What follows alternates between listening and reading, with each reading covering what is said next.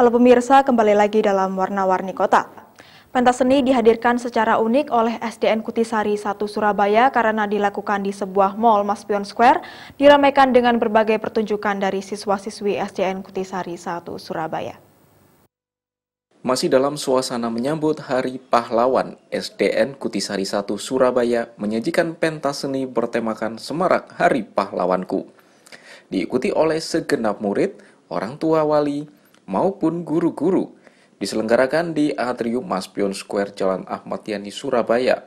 Menampilkan aneka pertunjukan seni antara lain menyanyi individu maupun secara berkelompok, menari bersama, dan masih banyak lagi. Suyatno, selaku Ketua Panitia Acara sekaligus Guru Kelas 6 SDN Kutisari 1 Surabaya, menyatakan kegiatan seperti ini dilaksanakan setiap dua tahun sekali merasa senang diberikan fasilitas tempat oleh Mas Pion Square.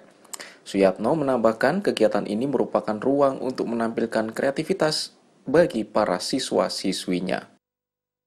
Pentas seni di SDN Kutisari 1 ini dilaksanakan setiap dua tahun sekali dan kebetulan pada hari ini itu diberi fasilitas oleh Mas Pion Square sehingga kita bisa melaksanakan di sini sesuai dengan tema yaitu Semarak Hari Pahlawan bersama SDN Kutisari 1 menuju Sekolah Adiwiyata.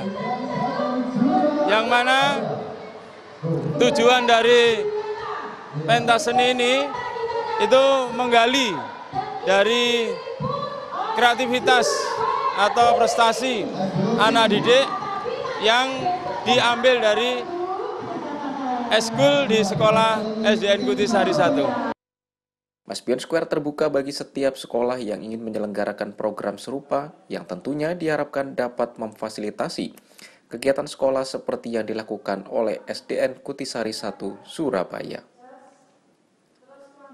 Yonas Bernard, Alfian, Surabaya TV. Demikian informasi tadi, saya Revina Dewi undur diri, sampai jumpa dan salam Surabaya TV.